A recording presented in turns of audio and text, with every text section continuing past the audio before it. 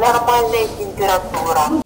И снова пустые коридоры. Среди преподавателей и студентов политеха уже заболело более 300 человек. Со вчерашнего дня и по 13 февраля в университете «Дистант». В связи с эпидобстановкой вузы сами имеют право отправить студентов учиться на дому. Опыт работы в онлайн-формате здесь уже не в новинку. Первый локдаун накрыл университет в начале 2020 года. Можно, конечно, подумать, что это такой же дистант, как был в 2020 году, но немножко есть отличия. Тогда был действительно полный дистант, когда в ВУЗ вообще никто не заходил, и мы полностью, скажем, перешли на ну, локдаун, локдаун был. То сейчас ВУЗ работает, работают все службы. Мы не исключили заход э, наших студентов в университет, они имеют возможность заходить сюда, и отдельные консультации мы проводим, но нет никаких массовых мероприятий, нет массовых лекций. Приказ о дистанте накануне вышел и в Алтайском государственном университете. Здесь также с 3 по 13 февраля все виды занятий, семинары, лекции будут проходить исключительно в дистанционном формате.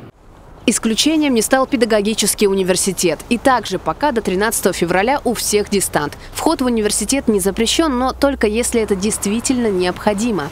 На мой взгляд, это уже третья волна, когда мы студентов вот в таком общеуниверситетском формате выводим на дистант. По числу заболевших эта третья волна самая, так скажем, тяжелая.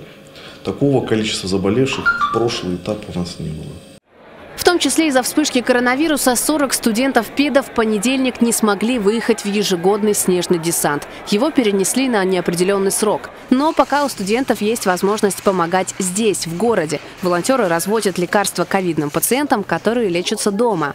Мы сформировали э, немедицинский отряд волонтеров, порядка 20 человек, и в настоящее время ребята в городе Барнауле осуществляют э, развозку лекарств и продовольствия, питания. Да.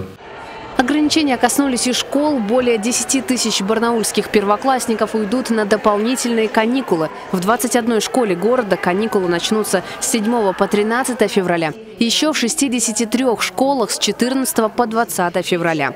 В соцсетях многие родители, как всегда, встретили эту новость негативно. Кто-то предлагает отправить детей в школу, получать знания и естественный иммунитет. А пока остается гадать, выйдут ли студенты и школьники на учебу в положенные сроки. Ирина Корчагина, Алексей Фризин. День с толком.